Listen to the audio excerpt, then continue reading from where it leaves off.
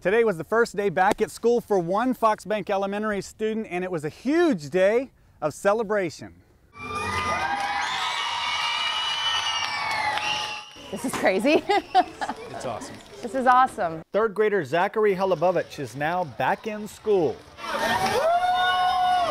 This is the welcome home ceremony is just phenomenal. The entire school is celebrating his return. We found out August 9th Zachary needed a kidney transplant. They initially had him checked out due to slow growth.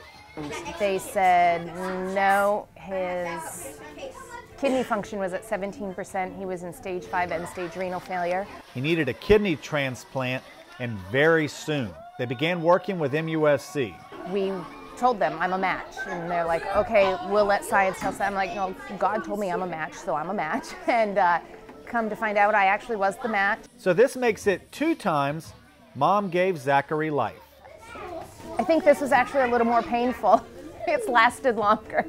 Um, it's, I don't think it was a choice. It's what any parent would do.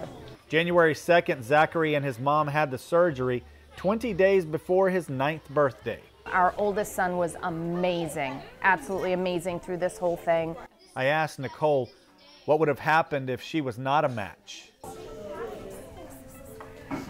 Zachary wouldn't be here right now because when he went in for surgery, he was less than 10% kidney function. He wouldn't have made it to his birthday.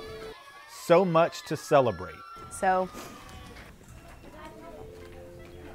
thank goodness for blessings and family and school's family, church's family. The community down here has just been super awesome. It's nice. It's really, really nice to feel the love that we've felt.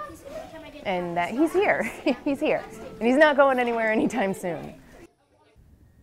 The great news is Zach has been doing very good since his surgery. In Moncks Corner, I'm Raymond Owens. Count on two.